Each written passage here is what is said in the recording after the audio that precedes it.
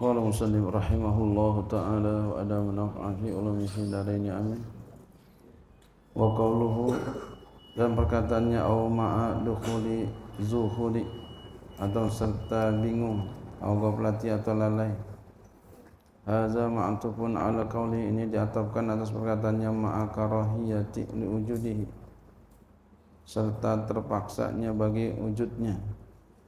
Ayat maksudnya wa mimma yastahil di antara sesuatu yang mustahil fi haqillahi ta'ala pada hak Allah ta'ala adalah ijadu syai'in minal alami ma'azuhuli wal awil ghaflati. Mengadakan sesuatu daripada alam ini serta bingung atau lalai. Mustahil Allah demikian. Wa zuhulu ma'a adamil ilmi bi syai'i ma'a taqaddumihi zuhul itu serta tidak mengetahui dengan sesuatu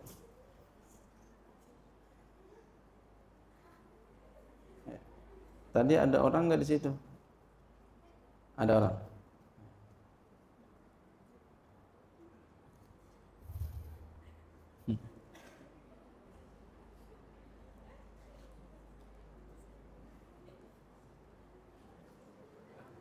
Wa zuhulu zuhul ma'a adamil ilmi bisyai'i serta tidak mengetahui dengan sesuatu ma'a takadumi serta terdahulunya terdahulunya ilmu ya.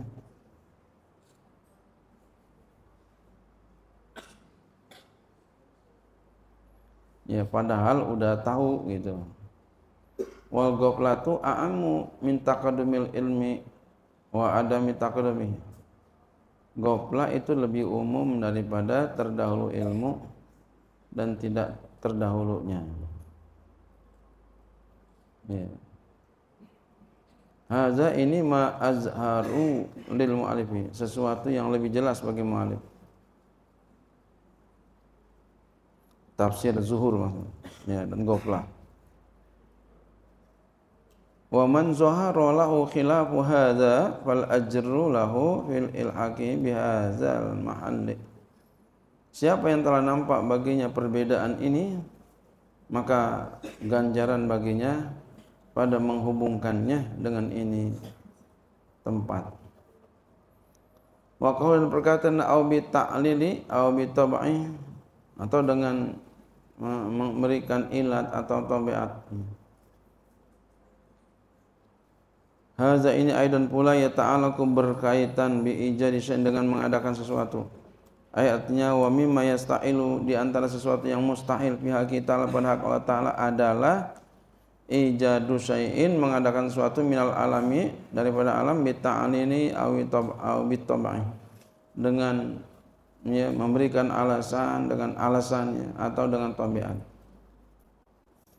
Mananya bahwa makna zalika makna demikian itu ayyakuna wujudu yalzamu minhu wujudu kainati. Bahwa ada wujudnya lazim darinya oleh wujudnya segala yang ada. Kalluzumil ma'luli li'inatihi wal matmu'i li tabi'atihi.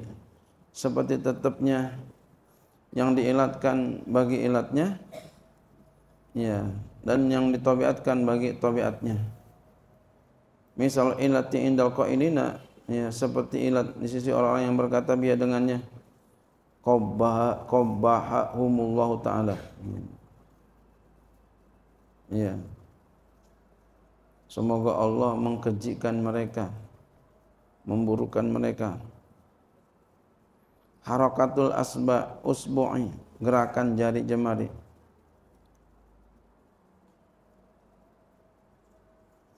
Fa innaha illatun li harakatil khatimi katanya. Gerakan jari jemari ya. Maka sesungguhnya itu adalah ilat bagi gerakan cincin khotami. Nah, ini kan salah ya. Katanya begitu. Ini salah. Fayalzamu maka kalau begitu lazim min arakatil usmi daripada bergeraknya cincin, bergeraknya jari itu harakatul khatimi gerakan daripada cincin. Ya. salah. Cincin bergerak karena gak jari bergerak. Wa misal tabi'ati 'indal qaili biha an-naru. Misal tabiat di sisi orang yang mengatakan dengannya adalah api. Fa innaha tabi'atun tu'assiru fil ihraqi. Maka sesungguhnya dia itu api adalah tabiat yang memberikan pengaruh pada membakar. Ya. Sehingga dia itu tabiat yang memberikan pengaruh pada membakar. Lakin akan tapi Idza wujidat surutuha akan tetapi apabila didapati syarat-syaratnya. Apa syarat-syaratnya? Wa huwa mumasatuha lil hatabi masalan. Wantafa wa huwal balalu. Yaitu menyentuhnya bagi kayu bakar umpamanya dan ternapi penghalangnya dan itulah bahasa. Hmm, katanya begitu. Ini juga enggak benar.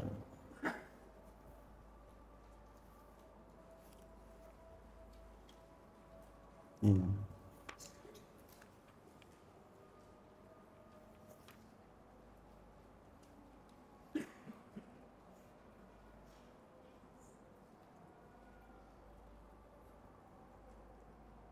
Wa hadza huwal farqu bainahu wa bainal ilati. Dan ini adalah ya